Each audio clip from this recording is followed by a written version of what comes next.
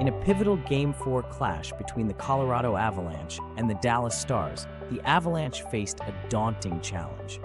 The pressure was on as they struggled to match the intensity of their opponents. Let's delve into the breakdown of this crucial matchup. The Avalanche's performance in the first period left much to be desired. Coach Jared Bednar expressed disappointment in their lackluster start, citing a sense of exhaustion and sluggishness. The team's energy seemed depleted, a stark contrast to their usual form. Despite a slight improvement in the second period, the Avalanche continued to struggle. The slow pace of play and lack of execution hindered their efforts. The challenges persisted, making it a tough night for the team. Off-ice news regarding Valeri Nichushkin's suspension and Devon Toews' absence added to the Avalanche's setbacks.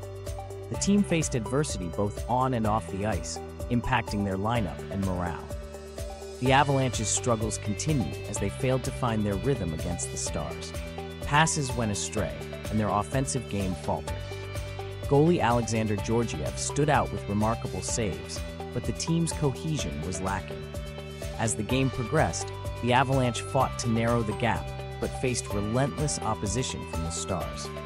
Despite their efforts in the third period, the Stars extended their lead, putting the Avalanche on the brink of elimination. With the series now at 3 1 in favor of the Stars, the Avalanche must regroup for Game 5. The upcoming match will be crucial as they strive to keep their playoff hopes alive. The pressure is on as they aim to stage a comeback. The Avalanche's journey in Game 4 was a tumultuous one, filled with challenges and setbacks. As they look ahead to Game 5, the team must rally together and give their all to turn the tide. The season hangs in the balance, demanding a resilient effort.